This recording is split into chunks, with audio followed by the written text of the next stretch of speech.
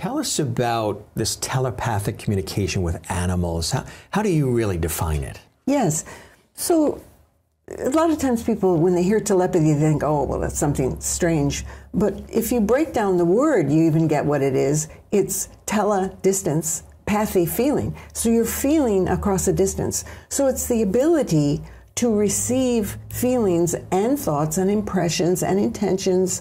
For, and we're talking about animals. So from animals.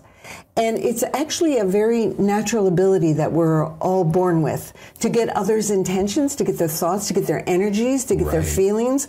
And our society kind of socializes us out of it mm. so that people then go into more into their left brain and go, oh, well, that isn't logical or it's not analytical and it doesn't Whereas when you're younger, you just kind of go, "Oh, of course I know what the dog is feeling. Of course I know what the the bird is feeling happy," and you don't deny it. But then it gets socialized again and again out of people.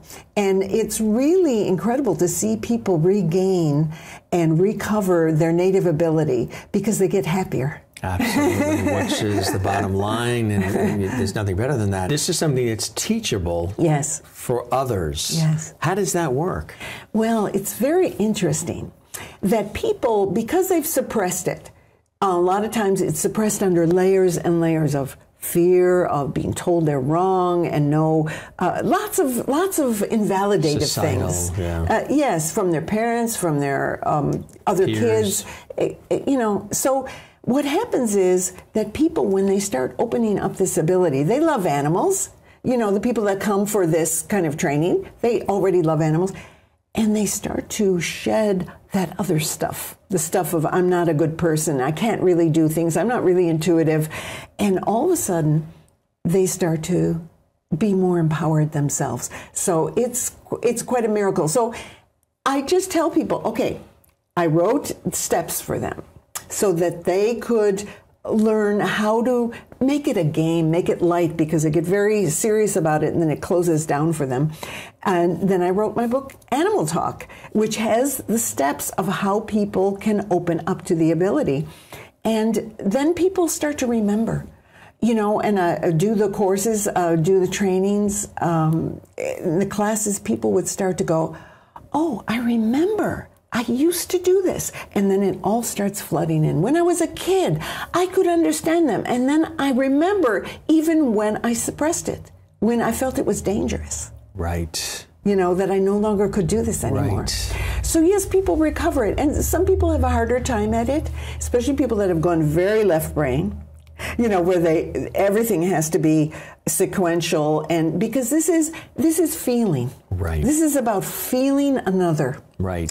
And opening up to feeling so you have to open up to your own feeling. And then you can open up to another's feeling. And so people then have to shift gears. And it's it's sort of like for uh, for a lot of people it's like crossing a chasm. You know they they suddenly make the leap and they go there's a different world out here. And here's my dog who I've always loved, but I always felt different from, yeah. separated from. Right. Now we're walking the path together. Together. And my dog is telling me uh, how I should live my life. And now I'm listening. You know, my dog is my guide. People, you know, realize that their dog or their cat or their bird or whoever it is has been helping them, they guiding sense them. a lot of things yeah, yes. in advance of us. So it's really a natural ability. This is what I want to stress: is that it's not something way out there. It's no, not something yeah. only a few people possess. We all have it natively to open up to and remember.